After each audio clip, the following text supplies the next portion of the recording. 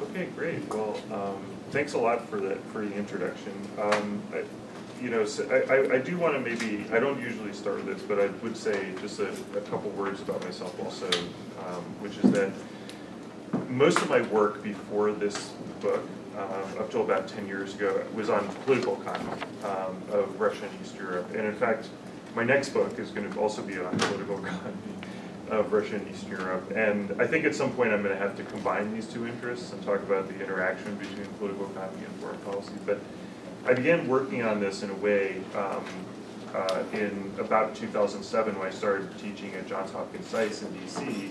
And it was right around the time of the Russo-Georgian War um, that really changed a lot of things geopolitically. I was working in a university that was very focused on foreign policy and international relations. Didn't have much interest in like what's going on domestically in these countries, but a lot more interest in kind of foreign policy relations to these countries. And so I feel actually during that time where I was teaching there, I sort of got a second PhD kind of in, in, in American foreign policy, as you see in EU foreign policy, and um, and I started teaching about this topic. And in a, way, this um, this book represents the you know like a, a, decade of work, you know, a lot of which was done through teaching and preparation for teaching and teaching about the politics of a lot of different countries in the world. And um, uh, so I just thought I'd mention that as you know kind of how I got interested and came around to, to this type of topic, um, which is of course you know great contemporary interests and, and, and particularly even this week, you know, and this, this month, right, you know, we see the, the sort of really, really tight relationship between American politics and Ukrainian politics, right, or American politics and Russian politics, which is, you know, kind of the central theme, this central theme of the book is that um, that the geopolitical you know tensions between Russia and the West have really affected the politics of countries and the lands in between, and these politics of the lands in between to become uh, really important, not just in themselves, but also as, as sort of guide to understanding the confusing things that are happening in the West. Um, so um, in this talk, I'm going to try to uh, organize it. I may have to sort of sit a little bit sideways so I can see my own slides here. But I'm going to organize it by sort of asking a few different questions um, that I find are really important to sort of introduce the topic, which is you know, a lot of people know that there's some sort of problem going on between Russia and the West, right? But I think a lot of times um, people don't totally pick up on like what is this conflict actually about. like a lot, of, you'd be forgiven if you thought sitting in the U.S. that it's all about the 2016 presidential election, right? But it's not. It's not. That's not really what it's about. And so I'm going to talk about that. I'm going to um, I'm going to argue that Russia is behaving in a very aggressive fashion. I'm going to also ask like, why why does it appear to be so angry, right? Why does Russia or the Kremlin so aggressive?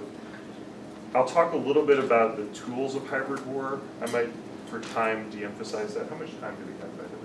Um, I think that if you spoke for 45 minutes. That would be okay, yeah. Rough. So we'll see. I'll, I'll try and get into that a little bit. Um, and then get to this question of, of how does all this affect ourselves? Like how, how, why is this affecting and how is this affecting politics and just because I, I can't always be guaranteed to hold to like any particular time restriction on my speaking, and uh, I will often go over, I've, I've decided over time that um, that the best strategy for me is to just tell you what I'm saying at the beginning um, so that I don't um, lose that opportunity at the end. And so I'm just going to tell you more or less what I'm going to say today, which is that I believe that what's at stake in this conflict is that Russia is trying to replace, or wants to replace, the current institutions of European security with a different st structure um, that I will call sort of great power structure relations as opposed to a uh, sort of liberal institutional structure. Um, Russia is extremely, is taking very risky and aggressive actions towards the West because it feels existentially challenged. Uh, the regime, especially the Putin regime, feels like it may not survive or, you know, sort of um, conflict or, you know, an assault by liberal Western institutions, which is a, whole thing which is hard for people in the West to understand, but I think is interesting.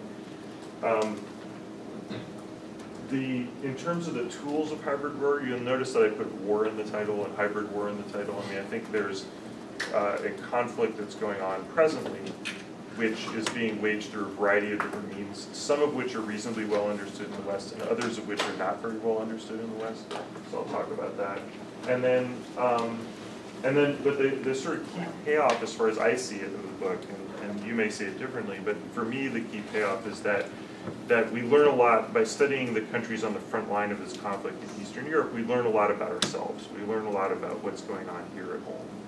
And, um, and I'm going to argue that there's a certain style of politics that's been promoted by this conflict, which is um, a, one of polarization of the domestic political space and also the rise of power brokers who seek to actually benefit from the conflict, in a way benefit from both sides of the conflict.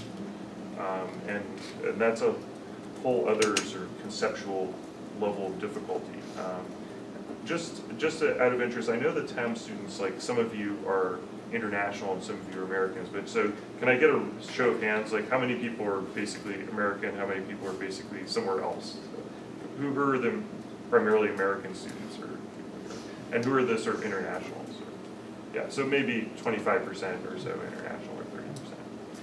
Okay, it's just helpful for me when I, because I'm gonna sometimes talk about us or our as sort of American or whatever, so I don't wanna miss. Um, so, um, so let me start with what is at stake. And um, here, I think actually it's interesting that that, all, that it's hard to understand this conflict, but it's hard. It, it, it's particularly hard when you don't understand what, what people are fighting about, right? And um, I think what's I, th I take a pretty broad, expansive view of what is going on. This this conflict is basically about European security. You may know, right, especially those of you who are European, that there have been two devastating wars in the last century in Europe, right? And that the United States was drawn into both of these wars, and therefore has had a really major role in European security um, since 1918, 1917. Um, that's about 100 years and uh, is very invested in European security. Um, for those of you studying Europe, that's not a big surprise, but as you know, um, a lot of people don't really think about that anymore. So um, it's sort of so background that, that people aren't very interested in Europe right now. Um, but it remains the, the sort of fundamental security preoccupation in the United States. And, um, and we have, uh, after the Second World War, the United States, together with uh, European powers, constructed a set of institutional, a set of institutions that are supposed to guard the peace and, and make war, if not impossible, very, very unlikely in the European continent. And those institutions are twofold. They're basically NATO, North Atlantic Treaty Organization, and the European Union itself, which although people talk about it as a sort of economic organization, which it is, the point of the EU is to prevent war.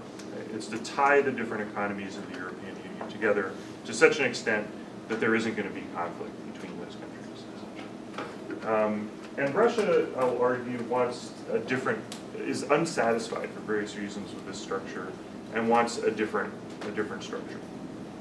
Um, I'm just going to note here for time that there are also other issues going on. There's um, values issues, there are different sorts of politics issues, um, there's different economics going on.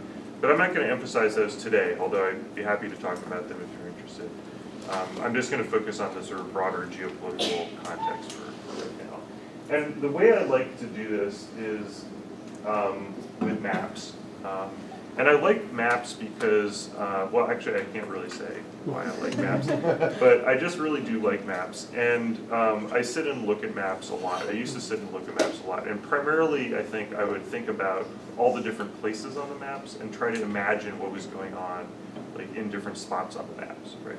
And after a long time of doing that, I realized that um, maps um, maps are really interesting because they tend to have they tend to say a lot if you look at them for a long time, they tend to say a lot about the political imagination of the people who did the map, who drew the map, or designed the map. And um, that's what I'd like you to focus on right now, is this sort of political imagination. So if I were to ask you, what is this a map of, what would, what would leap to mind? EU candidates? Yeah, this is a map of the EU, that's good, yeah. I think a lot of people would say the EU, or it's a map of Europe, right? Those would be probably the two, number two, number one, number two. In this audience, you're, you're more precise, so you're saying it's a map of which is good. Um, but I'd just like you to, um, to see that um, from Russia's point of view, this type of vision of Europe, right, is not really very favorable towards Russia. Because Russia is sort of outside the area that is of focus in this map. And I think that that point is, is even more salient when you look at this map, which is um, actually an official map of the European Union, right, of the Council of Europe. And it, um, it, it provides this vision of, as I would portray it, a kind of celebration of European nations. Every European nation gets a bright color, every nation gets a bright um, flag on the side. But if you think about it from Russian point of view, um, this is kind of a disturbing, potentially disturbing kind of map, right? Because Russia exists as a kind of like tan background to this European celebration of nations. The map that I actually love the most about the European Union is this one, which I think the author to me had to have been uh, West European, right, of this map. um, and uh, what it does is this portrays a map of a multi, uh, a multi-level uh, Europe, uh, multi-tier Europe, I guess you'd say, where I'm going to see if I can get this going. Yeah, where you have a first tier of European countries. By the way, if you ask American students what countries are in Europe or where are they, like these are the ones that they would know most likely, right? And then there's a sort of second tier Europe, which is made up of the 2004 new member states of the European Union. A third tier Europe, which is made up of Romania, Bulgaria, and Turkey. And then there's a fourth tier Europe, which is, you know, uh, Russia, et cetera, right? And so the point I want to make here is that from the Russian perspective, um, they don't really see themselves as fourth tier Europe, right? Um, or nor do they want to be a fourth tier kind of country in Europe. They would probably um, prefer to be seen as a first tier member of the European Union and a first tier um, uh, country involved in European security. As the United States has, you know, really substantial security interests in Europe, so does Russia, right? And, and, and Russia, moreover, is at the very least partly European uh, country. And so Russia's vision about its importance in world affairs is more nearly, um, more nearly uh, reflected in this map of, of sort of imperial Europe, um, of the, uh, I, don't, I didn't check, it's got cut off here, what year we're talking about here, but um, I guess this is 1818 or something. And, um, you know, the Russian Empire is a big European power in this map, arguably the biggest, you know, at least by size. Um, as alongside other major countries in Europe, like the German, well, Union, the Habsburg Empire, the Kingdom of Great Britain, Spain, France, uh, and the Ottoman Empire. It's one of the, from a, a Russian perspective, Russia is one of the top four powers in Europe. And so the whole idea that Russia would somehow be relegated to fourth tier status in the European Union or outsider status in Europe is pretty intolerable, at least to the current regime in Moscow. And um, the vision that Russia has of, of what should replace, and this, by the way, comes not only just, um, is not my supposition, but it comes from an analysis of the proposals that Russia has made for reorienting European security. They don't want NATO to be around. They think NATO is obsolete and should be eliminated. And they would like to replace NATO um, with an organization which is similar to like the OSCE type of organization. Um, and, and um, well, I'll back up on that, but just to say that the vision that Russia really has is a vision of great power, um, Europe, where essentially Russia would have the same the rights that pertain to a great power, and um, and be able to uh, and the way that this would work in Russia's conception is that European security would be oriented around a series of meetings, very similar to the Congress of Vienna, um, which was a situation that was set up. Uh, it was a an or treaty basically that was set up at the end of the Napoleonic Wars in Europe. So when Napoleon in- invaded most of Europe, in, including Russia, in the early 1800s, after the war, the uh, the conservative powers of Europe got together under um, Count von Metternich of the Austro-Hungarian Empire. He was the foreign minister of Austria-Hungary. Um, set himself up and said, "We're going to deal with these. We don't want permanent conflict in Europe, and we want we want to deal with any security issues that arise through a kind of congress, which meant a periodic conference of the top leaders to decide the fate of different European security matters. Now, what were those European security matters? Great idea. Um, but what were those matters? Those matters generally pertained to the rising desire of different European nations to have independence from these empires, generally speaking, right? So the Italians would want to form their own nation state and, and have an uprising. And so the, these meetings would be, well, how do we deal with the Italian uprising? Who, who, who's going to conquer the Italians today? Um, how do we deal with the Poles are having an uprising? How do we conquer the Poles? And if, if one country is having difficulty managing those relations internally, they would often invite in other powers to, uh, to meet those challenges. For instance, in 1848, I don't know how many of you know European history, presumably all the ones who answered that they were European all know European history um, and uh, know about the history of 1848. But in 1848 was, was the beginning of democratic movement essentially in Europe, or democratic uprisings anyway in Europe, that um, where there were democratic uprisings throughout Europe and um, they were eventually put down by the conservative powers, often in co combination with other. So, for instance, the Russian army was sent into Budapest to uh, kill a student strike, uh, killing in a literal sense in this case, a student strike that had been advocating for Hungarian, you know, autonomy within Austria-Hungary and also uh, greater democratic and self-reliance principles or self-determination principles.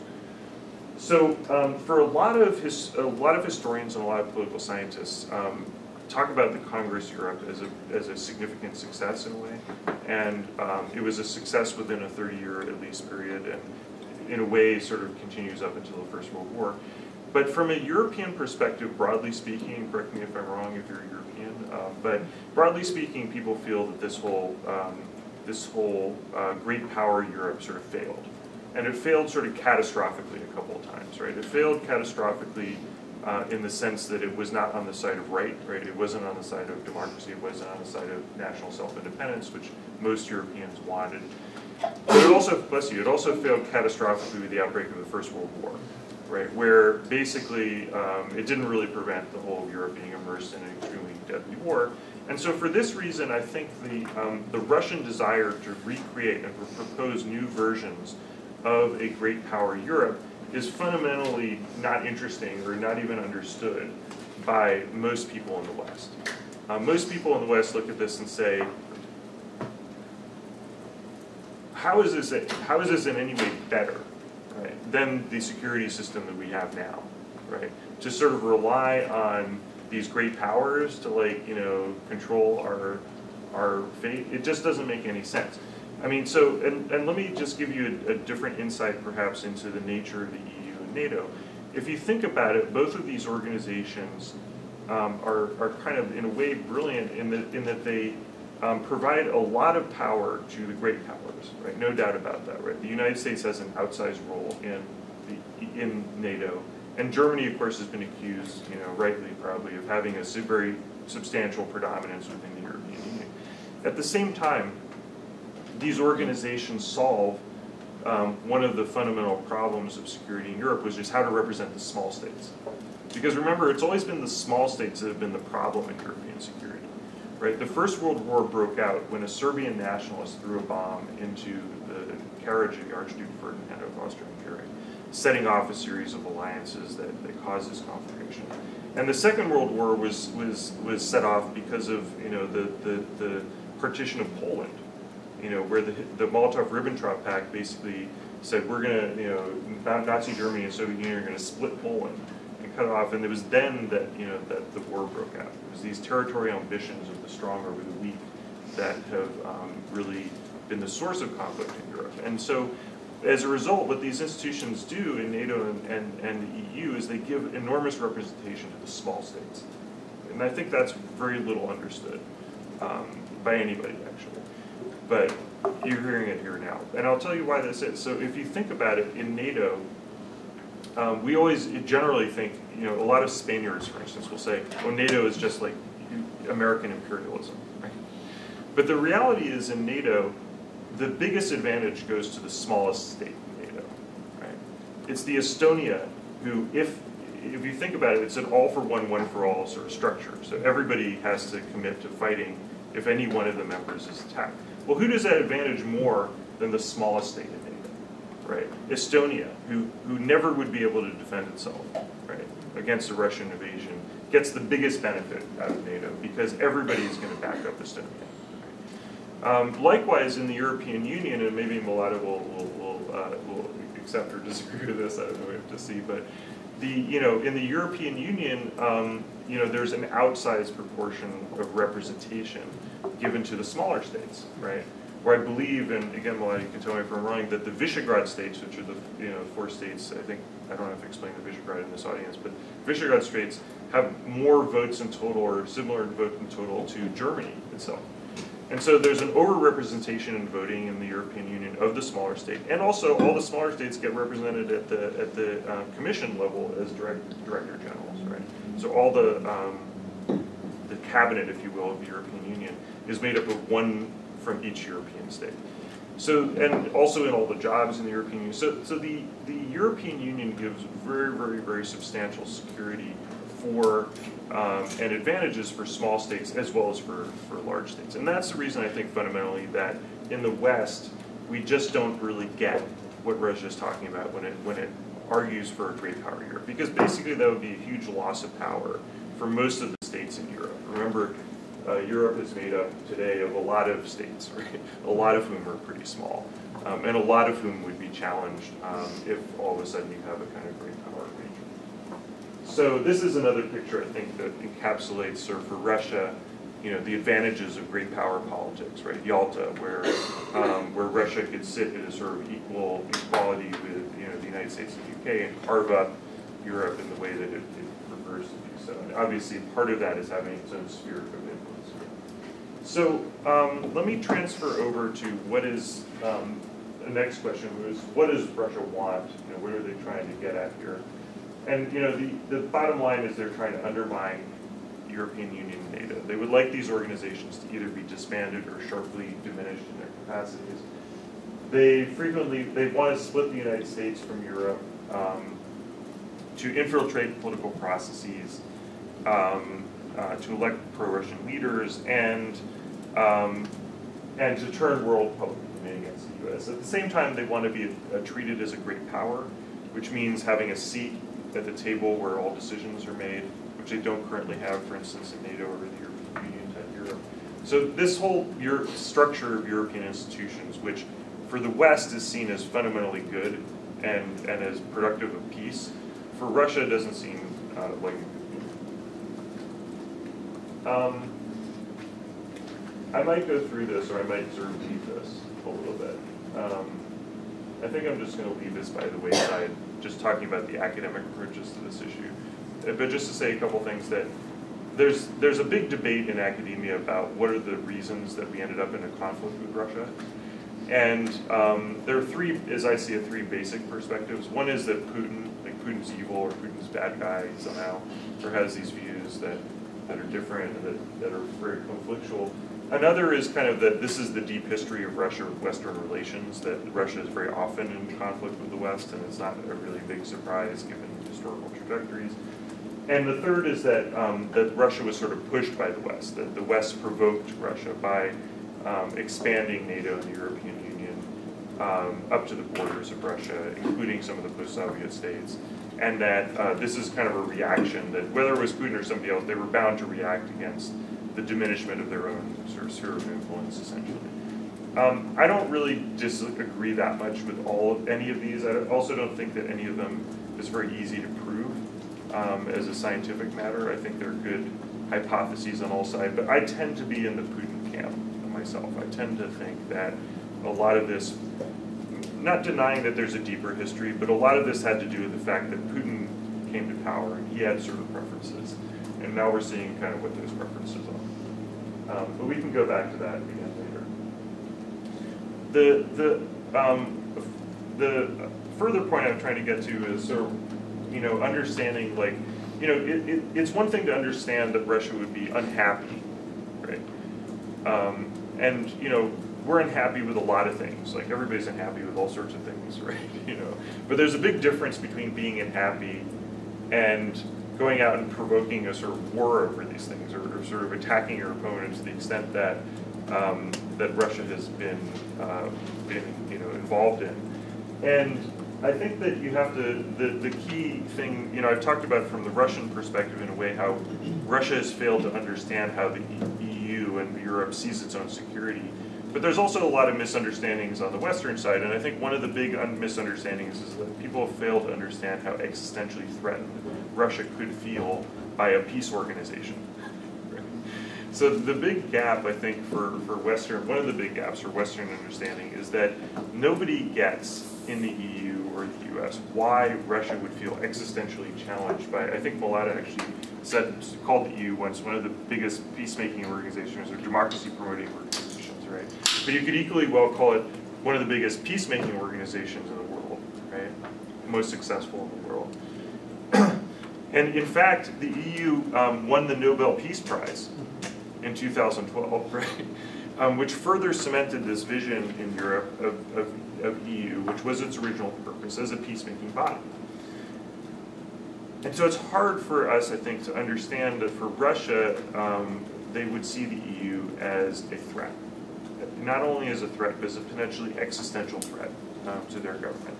And the reason they would see it as a threat is that um, this democratization support, which seems so benign for, for Europeans, in fact, is an important underlying you know, um, strategy of the European Union to sort of promote democracy because democracies don't fight against each other and will more willingly organize things.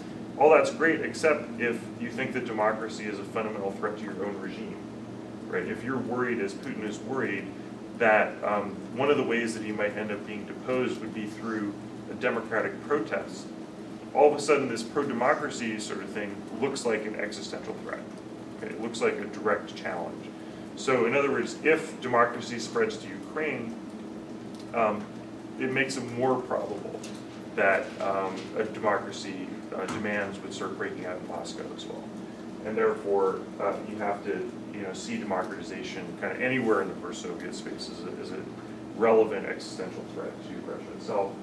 Um, as well as, and I, am not going through these other areas quite as much, but I could talk about them too. But let me just mention in economic space, if, if Russia is kind of a mafia state type organization with a sort of patronal relations and um, you know very very much top down you know pyramidal structure, that type of economy doesn't really interact and mesh very well with the sort of market oriented sort of European economy, right?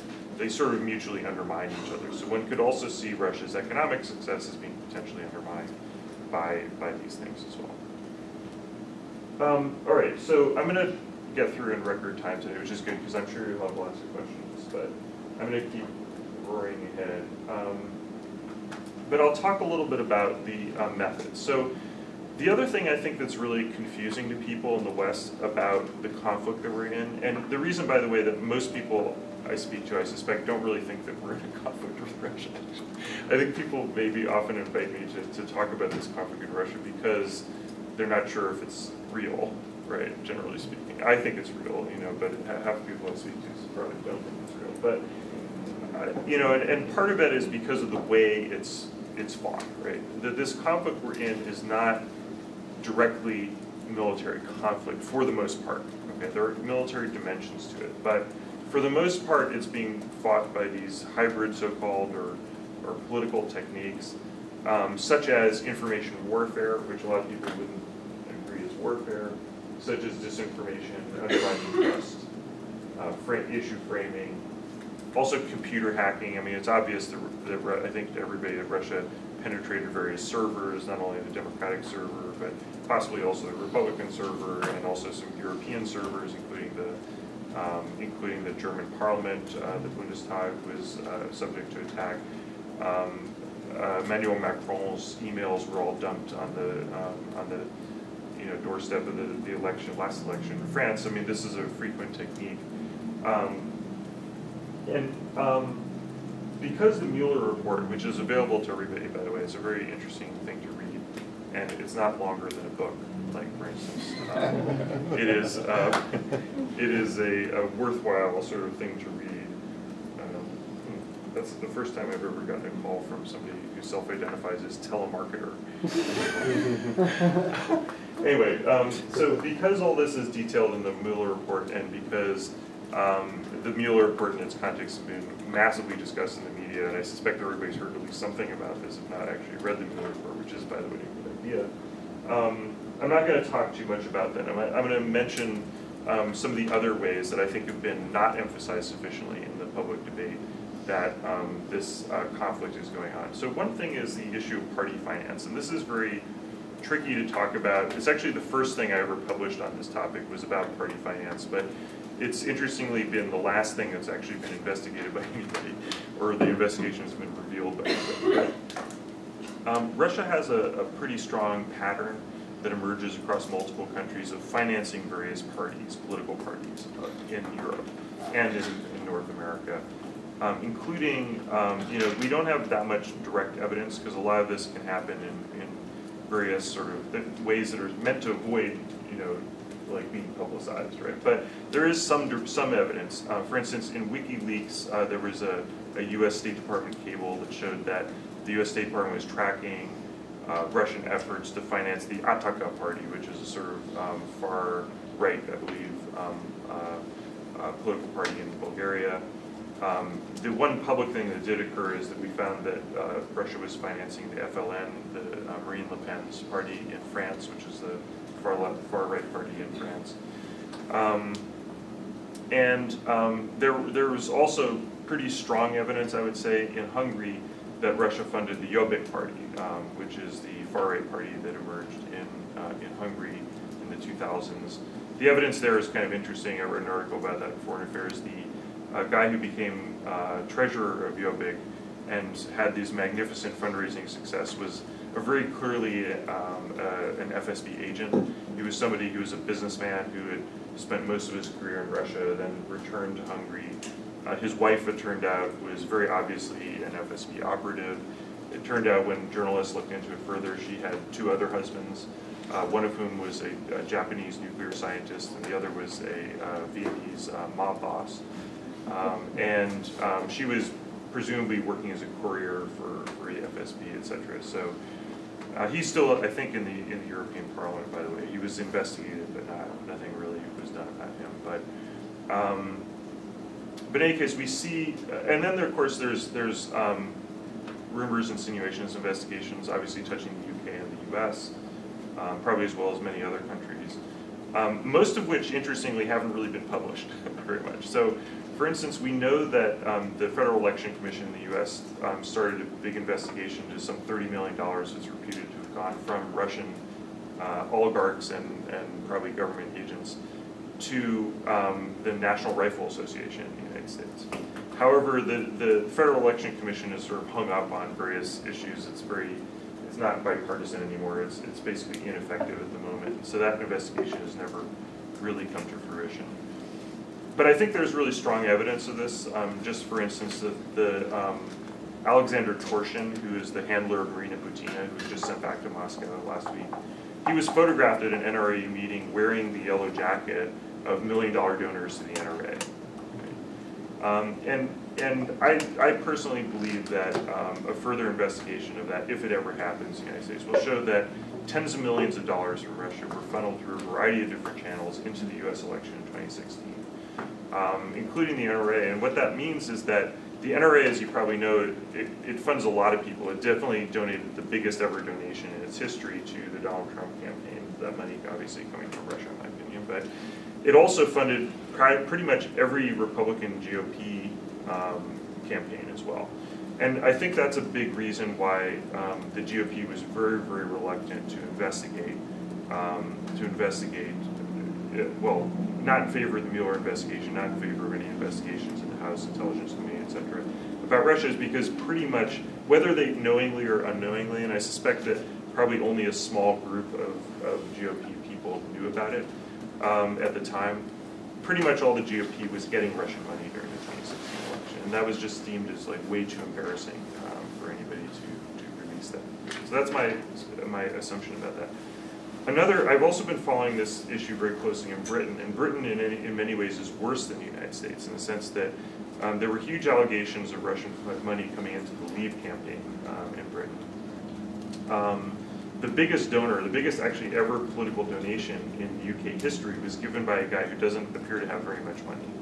um, this guy Arron Banks, um, who has a small insurance company, um, and uh, he gave this huge donation to the Leave campaign. And we also know that, like again from very public sources, that at the same time during the campaign he had lunch multiple times with the Russian ambassador um, and Nigel Farage.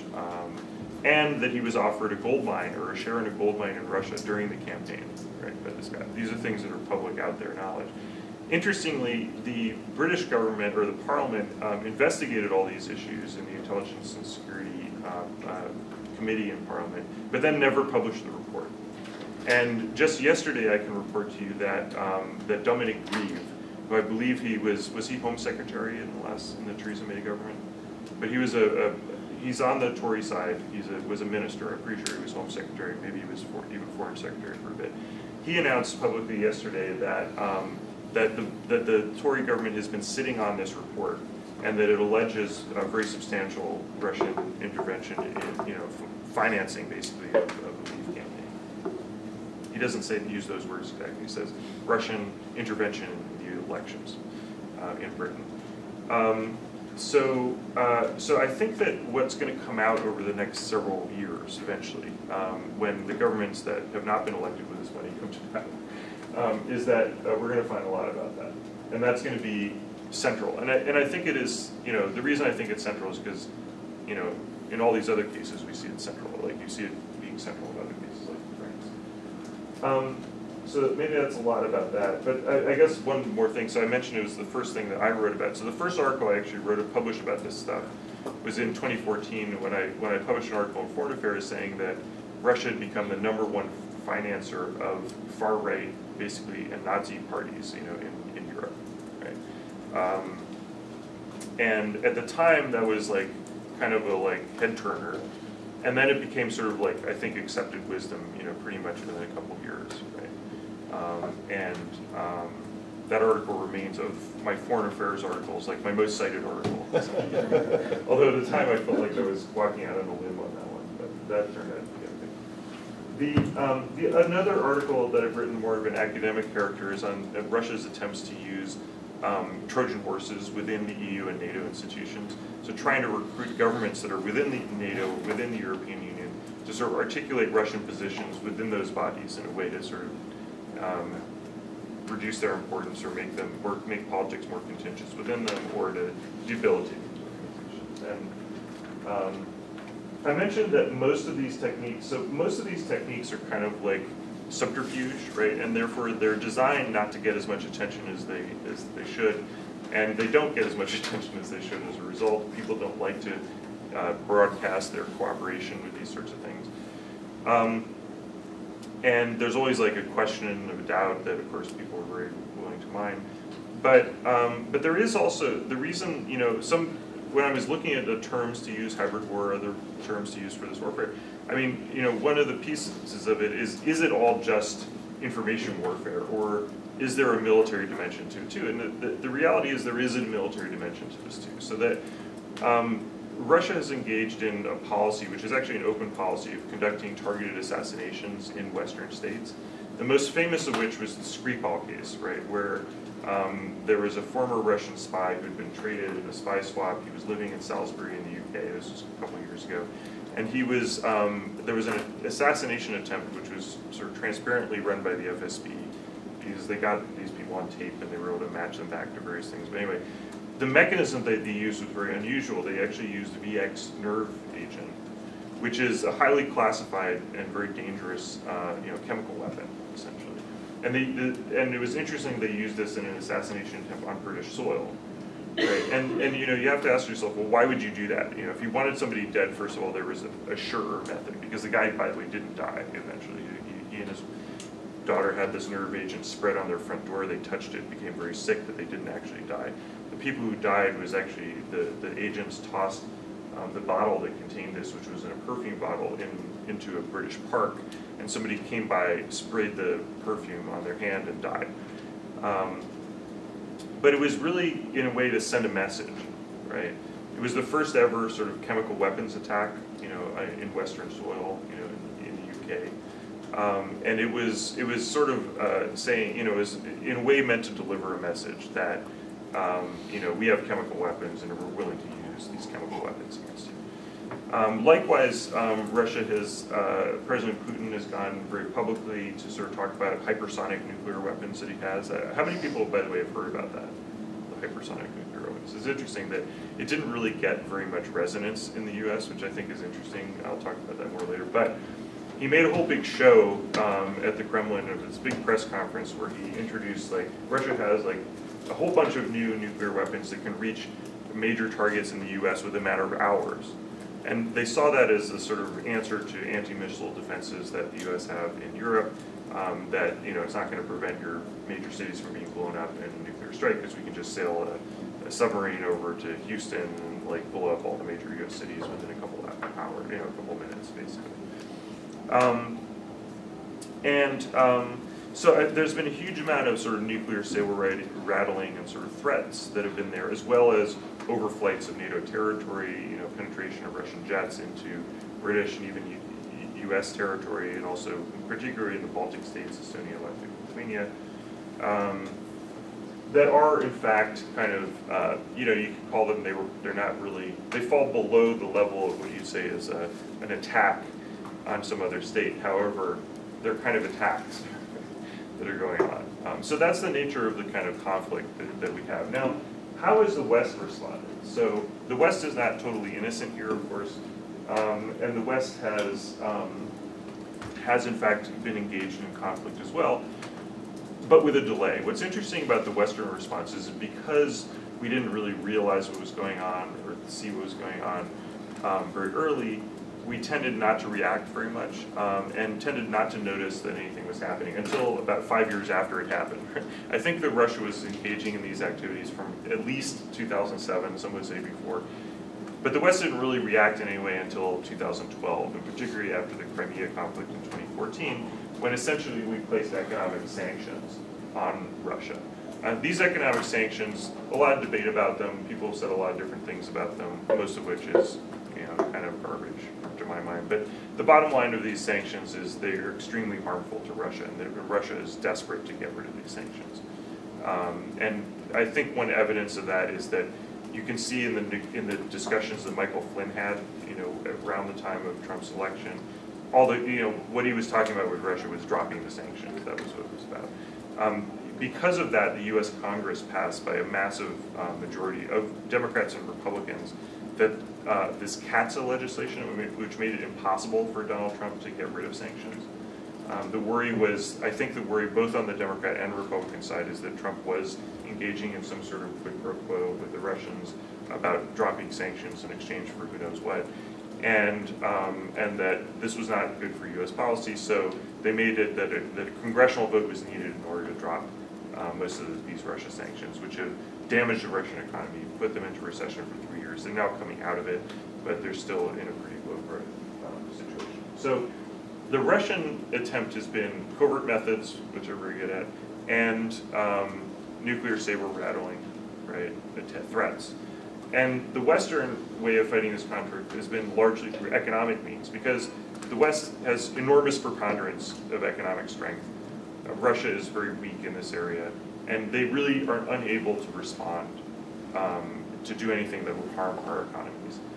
They can't respond with oil and gas cutoffs because that's how they make all their money. 50% of Russia's exports is oil and gas. They're not going to cut off oil and gas to the West, whatever anybody thinks.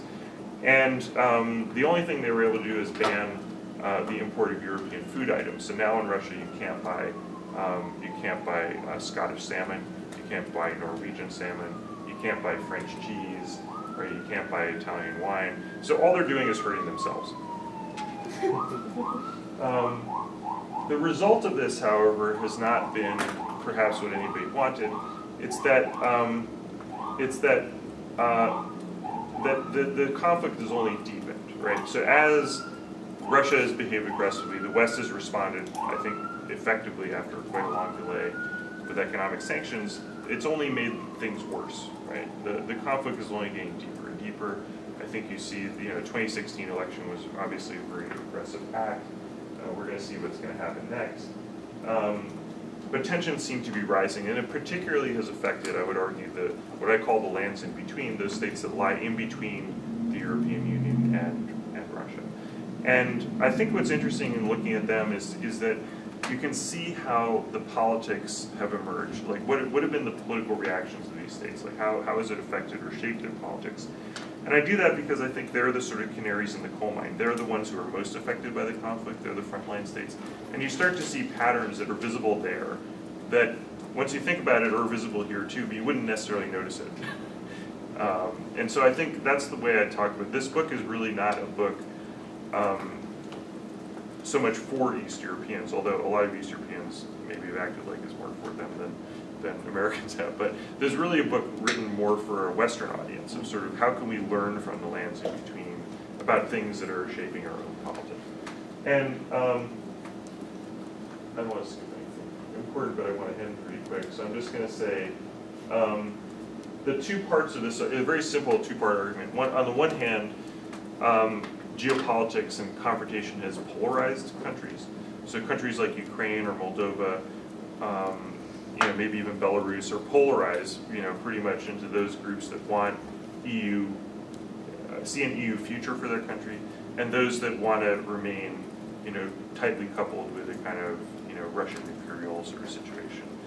And um, and there's not really a lot of like, there's no place in between those two things. It's very polarizing. Oftentimes people talk about it in the context of civilizational choice, right? That you have to choose whether to join Western civilization or Eastern civilization. And that and that and, and parties generally define themselves as like I'm the pro EU party, I'm the pro Russia party. Right?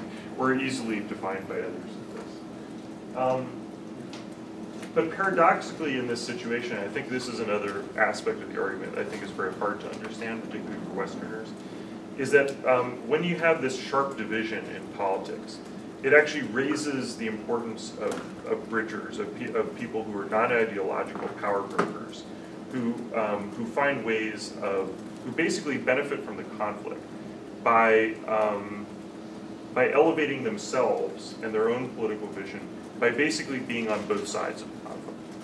Right? By basically being pro-European and pro-Russian at the same time. Now that's sort of mind-bending. In a, in a country where on Sundays a lot of people sit in front of the TV and root for one football team or another football team, it's very, very hard to imagine that there are people rooting for both football teams. Right? Um, it's, it's very against, in a way, a, a lot of cultural aspects of the way Americans think about the world, I think. But I think that's the piece that we have to start to understand if we're going to get what's not only going on in these lands in between, but increasingly what's going on in the U.S. So I'm going to give you, argue through a couple examples. Um, I'm just going to give two. I have a bunch of others I could talk about. And the book largely sort of shows a lot of the different strategies that these people use. But I'm just going to talk through a couple of them. And, and Orban, by the way, is not really in the lands in between. This is in Central Europe. This is in a country which is embedded in the EU.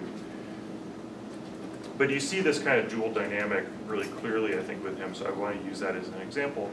That, you know, Orban is definitely very pro-Putin, right? I mean, he's visibly pro-Putin. It's not a huge mystery. He's had several meetings. In fact, last week he was just had a summit meeting. And, um, and, and he has uh, basically made a couple big energy deals with Russia. Uh, Russia is building a nuclear power plant in, in Hungary, and also is trying to prop up Hungary as a kind of hub for the South Stream, or now what's called Turkish Stream uh, pipeline.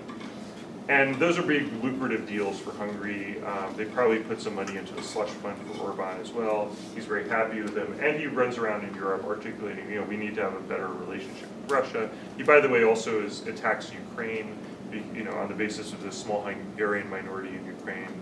And so he echoes Russian criticisms of Ukraine, et cetera, et cetera you would think, right, one, that, that this closeness, this closeness with Putin brings money to Hungary, to his pockets probably, um, and you would think it would bring opprobrium in the EU, but actually, in a lot of ways, it's actually strengthened Orban's position in the EU. Because being somebody who's a potential defector from the EU camp, who might bring Hungary outside the EU, has been embraced even further in the EU and given more support, if anything, um, than because of his relationship with Russia. So Hung, Hung, Orban, as you know, is not a Democrat. He's basically put, put in place an authoritarian regime, which is highly criticized in the. But the EU is very willing to, to is more willing, I would argue, to tolerate him because they see him as a potential defector with Russia. And the embrace that the EU has given him of not really criticizing his policies, he's now an important member of the EU uh, People's Party, the biggest party in the European Union, um, and has been protected uh, by Angela Merkel, protected by, um, by people in, in her party, um, even elevated in certain ways, is because partly that they're worried about um, this relationship he has with Russia. So this is just one strategy. You could call it the squeaky wheel strategy that where where you could actually be uh, disloyal and embraced by the people you're being disloyal to at the same time. And what that means is more flow of funds into Orban's pockets and a greater ability to uh, succeed at whatever domestic games you're trying to My favorite of all time and um, uh, strategy, and all these strategies are a little bit different, but my favorite of all time strategy is this guy Vladimir Plahotniuc, the biggest oligarch in Moldova, whose strategy was really amazing. He um, he had a background as a, basically a mob boss, a mafioso, probably made his money in human trafficking, and then wanted to become get a better reputation, and he decided to launch. He decided to become a pro-EU politician in Moldova, and launch into and basically over time built up his party, which is called, funnily enough, the Democratic Party, although it's a very thuggish, you know, sort of a Democratic Party. Built it up into the most successful um, Democratic pro-EU party in Moldova. Um, because of his past, he probably realized that it wasn't going to be very easy for him to sell himself in the West as like a nice guy and a friend. And he, he sort of, in a way, stopped trying. He said, well, look, I'm not a nice guy, but if you want the pro-EU thing to happen, it's going to happen because of me, and therefore you have to support me. Interestingly, at the same time, he was also a big supporter of the pro-Russia party in Moldova, in part because if they didn't have a big pro-Russia threat in Moldova, who would support him to be the pro-EU guy, right? Brilliant maneuver. And, and the same thing can be seen in his business dealings. On the one hand, he's seen as being the biggest beneficiary of a lot of EU funding into Moldova, various projects that he skims off of. On the other hand, he also, in his legitimate businesses, which he has both legitimate and illegitimate businesses probably, he owns two of the major television stations whose job, who's basically rebroadcast all of the Russian TV stand, the major Russian TV stations in Moldova, including all of the Russian propaganda into Moldova, and he's paid for this, right? So he's getting money to broad, rebroadcast Russian propaganda, and he's getting money to support uh, EU membership in Moldova. In his case, um, this sort of dual strategy backfired, which I think is interesting because it kind of shows some of the dangers of this strategy. Because Putin got wind of this and basically told the pro-Russia party, with whom he was plan- supposed to ally after the election, not to go into a coalition with him. And he ended up on the outs and he went into exile. Guess where? Hmm? No, Miami. Which is, I think, uh, just like the cherry on the ta- cake here, you know, because, um, you know, again, about how the how complicit the West is in a lot of ways in these strategies, right? And and even though, you know, I mean, if I suppose he could have gone a lot of places, but but the fact that he was led into the U.S., I think, was basically a way to get him out of Moldova, which is probably sort of legitimate. But it just sort of showed again how these people can be useful in various ways to both sides, you know, in the conflict. Now turning to U.S. politics, and I want to really end quickly because I know I've already gone over, but I, I want to say that that I think this is a great lens to understand Donald Trump as president, because a lot of people have argued that Donald Trump is a Russian agent, um, that that he always presents a Russian perspective, you know, and, and there's a certain amount of considerable evidence on that side, I would have to say. But at the same time, if you look at that conversation that he had with Zelensky in July, right, what is the conversation about? He's basically offering to give Ukraine anti-tank weapons that they will shoot at Russia, who's his supposedly best friends, right, in exchange for dirt on his opponent in 2020. Which says to me again that this is somebody who is like the lands in between, um, a balancer, right? He's somebody who one day he can be friends with Russia, the next day he'll be friends with their mortal opponent of Russia, as long as they're both donating to him um, personally. So I think that this perspective in the lands in between does give us an enormous ability to understand things, weird and bizarre trends that seem to be happening in our own countries.